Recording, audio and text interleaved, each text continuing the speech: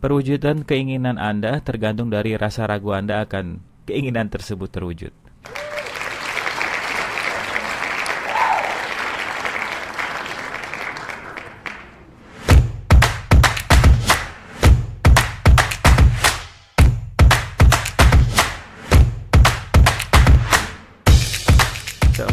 Warahmatullahi wabarakatuh. Salam sejahtera buat kita semua. Ada yang begitu cepatnya menarik keinginan datang kepada mereka Dan masih juga ada orang-orang di luar sana Masih berjuang untuk menarik atau mendapatkan hal-hal yang mereka inginkan. Perkenalkan nama saya Rahmat Baru. Saya adalah Certified Facilitator Law of Attraction Yang diberikan oleh Michael J. Lucier Penulis buku bestseller Law of Attraction. Dalam podcast ke-18 kali ini kita akan sama-sama menyadari kenapa ternyata ketika kita mempunyai rasa ragu, itu akan menghalangi terwujudnya keinginan. Jadi, keinginan kita tergantung dari besarnya rasa ragu tersebut dan bagaimana memanfaatkan kondisi ini untuk menarik keberlimpahan lebih mudah datang kepada kita. Ya, saya jadi penasaran nih seberapa semangat Anda untuk tetap hadir di podcast ini sampai akhir. So, stay tune.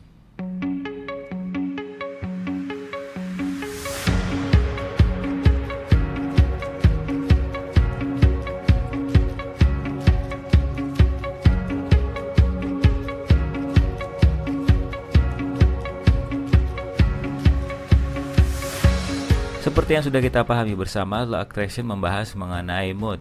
Saat ini kita hanya bisa memfokuskan satu jenis mood dan mood sendiri ada dua yaitu mood positif dan mood negatif. Law Attraction tidak tahu apa yang terbaik buat kita, dia hanya patuh menjalankan menarik hal-hal yang sama dengan mood yang kita fokuskan sekarang saat ini detik ini. Ketika kita fokus kepada mood yang positif, tentunya law attraction akan menarik hal yang positif juga.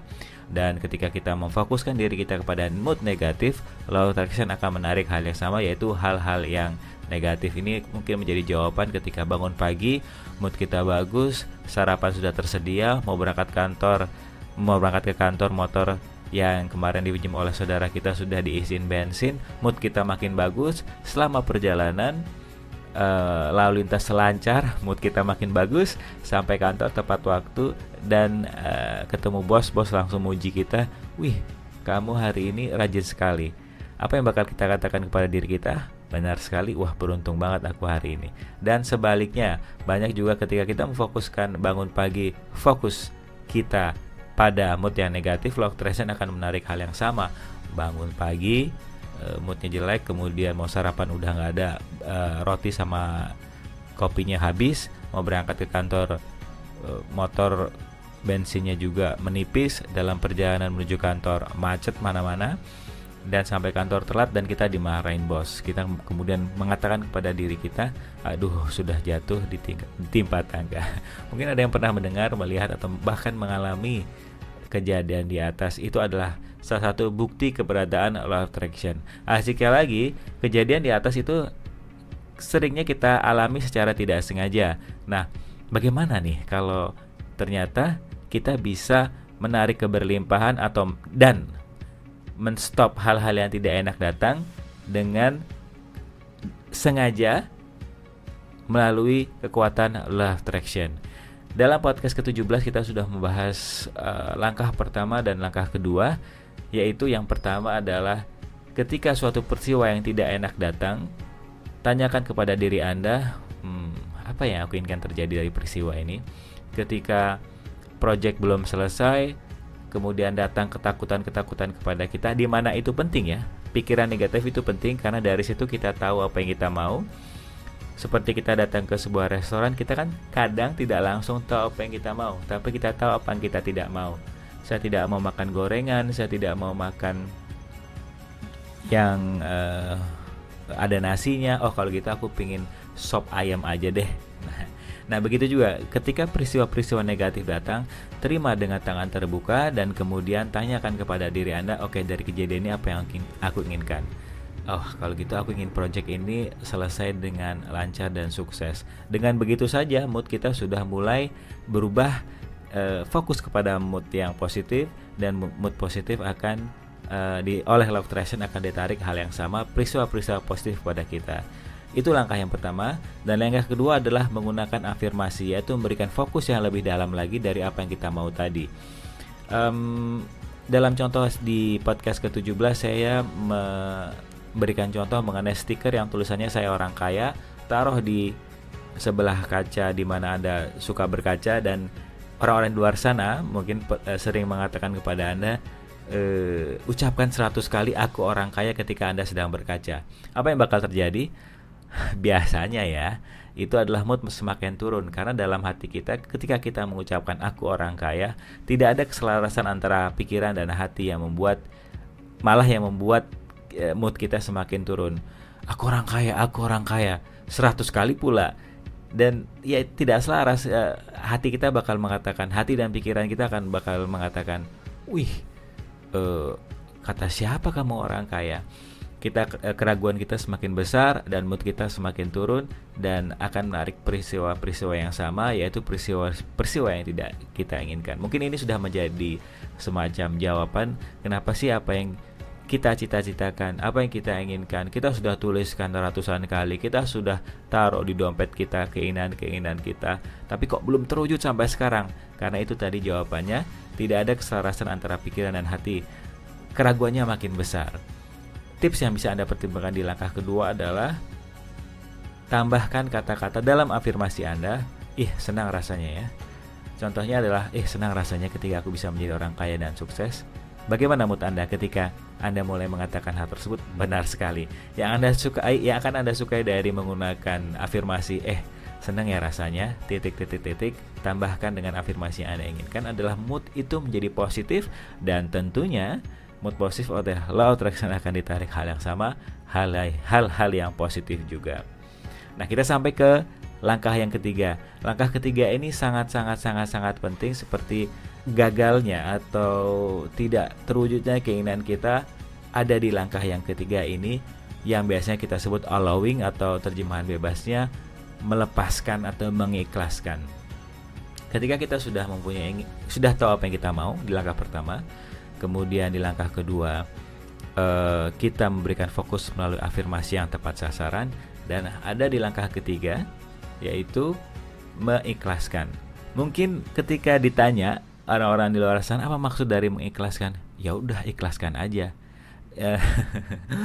Malah bikin kita bingung ya. Nah yang membedakan law attraction yang akan saya share pada hari dengan teknik-teknik yang ada di luar sana lainnya adalah uh, kita akan mencari kita akan menemukan lebih tepatnya ternyata ada teknik yang sangat sederhana yaitu allowing versi law of attraction yang akan kita pahami bersama adalah jadi keinginan kita bisa terwujud itu berbanding lurus dengan besarnya rasa ragu kita. Bayangkan sebuah waduk eh, besarnya aliran air yang keluar dari waduk tersebut tergantung dari luasan pintu yang dibuka. Artinya semak kaitannya dengan uh, law attraction adalah semakin kita mempunyai rasa ragu yang tinggi, semakin susah uh, perwujudan keinginan itu. Namun ketika rasa ragu itu kita bisa turunkan akan cepat keinginan kita terwujud. Bagaimana caranya? caranya adalah tentunya yang pertama yang bisa Anda pertimbangkan adalah tuliskan keberlimpahan-keberlimpahan yang Anda alami di buku diary. Contohnya adalah di traktir makan siang, kemudian diantar pulang oleh teman Anda ke kantor, atau proyek Anda selesai. Tuliskan ke keberhasilan-keberhasilan itu di dalam uh, buku diary Anda. Menurut uh, B.J. Fogg, dosen dari Stanford University, dia mengatakan bahwa ketika orang mulai melihat begitu banyaknya kesuksesan yang mereka alami dan biasanya itu adalah kesuksesan-kesuksesan kecil, itu membuat mereka mengatakan kepada diri mereka, "Wah, ternyata aku bisa ya menjadi seperti ini. Itu membentuk sebuah identitas diri. Dan juga begitu juga dengan law of attraction ketika kita menyadari bahwa begitu banyaknya kenikmatan uh, misalnya kita uh, ada keinginan dan kok belum terwujud dan kemudian kita membuka lagi tulisan-tulisan diary kita diary keberlimpahan kita kita akan mulai menyadari wah begitu banyak yang nikmat yang sudah Tuhan yang sudah Allah yang sudah mencipta kita berikan kepada kita membuat um, mood ra, membuat ragu kita turun dan tentunya membuat mood kita semakin naik dan law attraction akan menarik keberlimpahan yang begitu banyak datang kepada kita hal-hal yang positif lainnya. Setelah uh, kita menuliskan di di hari keberlimpahan kita, yang kedua adalah selalu mengingat, selalu mengingat bahwa uh, ke, ke, ke, kenikmatan kenikmatan kecil yang sudah ada di sekeliling kita, karena ternyata begitu banyak uh, kenikmatan yang kecil dibanding kenikmatan yang besar datang kepada kita. Contohnya tadi ditraktir makan siang, dianterin pulang atau kemudian teman beliin uh, oleh-oleh, teman bawain oleh-oleh dari saat dia mudik, PMP misalnya, itu lebih sering terjadi dibandingkan kita mendapatkan uang satu miliar. Uang satu miliar, mendapatkan uang satu miliar dari undian eh, dan kemudian kita ditraktir oleh teman makan siang itu sama-sama mempunyai rasa yang sama yaitu rasa rasa bahagia. Dan lebih sering yang mana? Keberlimpahan kecil atau keberlimpahan besar? Benar sekali keberlimpahan yang kecil yang sering kita alami. Dengan sering mengingat hal-hal yang kecil saja, law attraction akan menarik hal sama yaitu hal-hal yang positif karena mood kita positif dan kemudian akan siap menarik keberlimpahan yang lebih besar.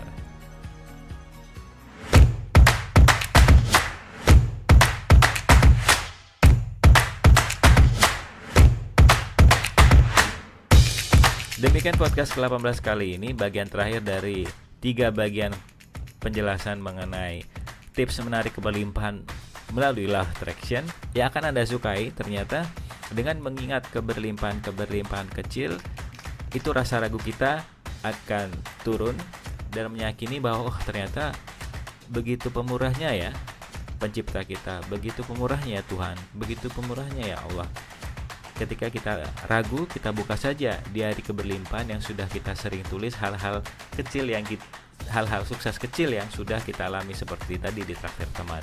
Makan diantar pulang kantor kemudian teman pinjam kendaraan dan diisiin bensin sama dia.